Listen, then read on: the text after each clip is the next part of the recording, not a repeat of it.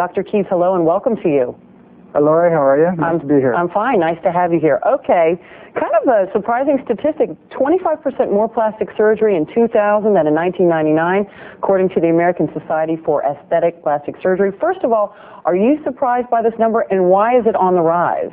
No, I'm not surprised at all. I think part of the reason it's on the rise is that there are more, certainly, doctors doing cosmetic surgery and plastic surgery and there's a bigger demand because of the types of results that are being achieved.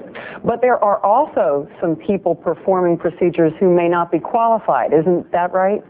Well, what, what's happened in healthcare today is that there are physicians who no longer are in private practice in the specialties that they uh, were originally practicing in, and they're seeking other ways to augment their practice, and they're stepping out doing procedures possibly that they didn't have uh, specific training for. And I, as a potential patient, you have to be careful with that. And we'll get to that in a minute, but let me ask, isn't that illegal, and how are these doctors getting away with this?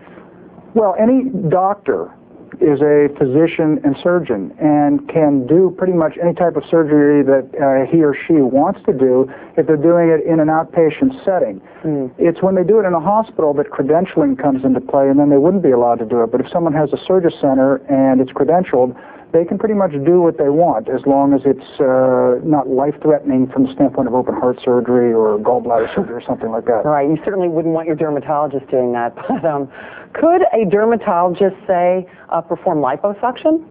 There are dermatologists performing liposuction, yes. Okay. And that's not of concern to you at all? Well, I mean, you know, liposuction per se, there are dermatologists who have learned to perform liposuction, and I'm sure they do a fine job. My particular preference is to have a surgeon do surgery.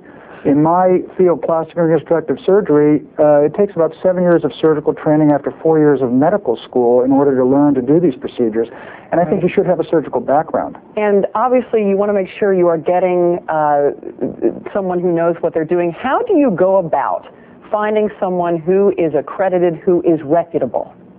Well, the American Society of Plastic Surgeons uh, has an 800 number that you can call to find out if someone is a board certified plastic surgeon, and that's the first step. You want somebody who is board certified in plastic surgery. Uh, once you've done that, you can talk to other doctors about the physician in your community.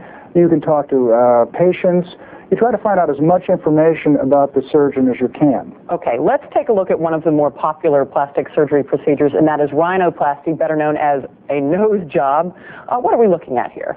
Well, this is, this is an attractive young woman who really uh, had a lot of the focus of attention of her appearance on her nose because she had a big bump on her nose, if you will, which is made out of bone and cartilage. And you can see uh, once she's had what's called a rhinoplasty, she has a softer, uh, nicer look, and the nose is no longer a focus of attention, but blends with her face a little bit better. That's really dramatic. Um, is there anyone who should Thank avoid you. rhinoplasty?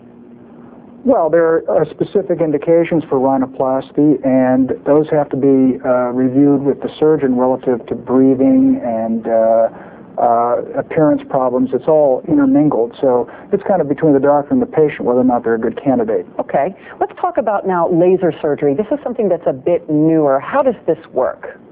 Well, there are different types of lasers. I'm using currently the CO2 laser, and I use it in conjunction with facelifts. And what it does is the facelift helps with some of the bigger wrinkles, and then the laser cleans up some of the smaller wrinkles. And this woman in particular uh, had a facelift, but also she had a carbon dioxide laser procedure that, as you can see, took away a lot of the fine wrinkles. Wow. Of course, she has makeup on, but that won't cover up the fine wrinkles. And she, it brought her personality out. She's a wonderful, wonderful gal. Good grief! I mean, it really is like looking at two different people.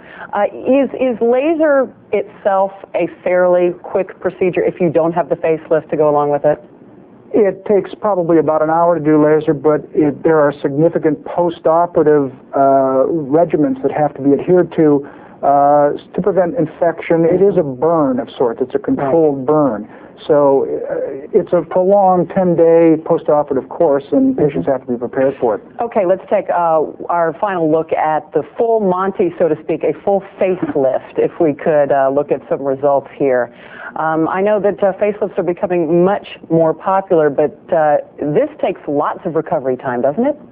Not really. Uh, the, the wounds are usually healed fairly well within two weeks. Sutures come out after the end of a week. there's swelling that can occur up to four to five months, but after about three or four weeks, someone can be out in public and uh, they won't have the full result, but they'll look pretty good. This is an example of a younger woman who just wanted uh, a little bit of the neck tightening. Here's a woman who's a little bit older and had a little more fat in her neck that was removed, and the jawline was uh, straightened out a little bit. And then the final picture uh, is somebody who's elderly and really with it, bright woman, and just wanted to look look her age Right. more uh, than look look wrinkled. Dramatic results. All right, Dr. Thank. Geoffrey you Keyes, plastic surgeon, joining us from Beverly Hills. Thank you. And the big tip you. is right. find a board certified plastic surgeon.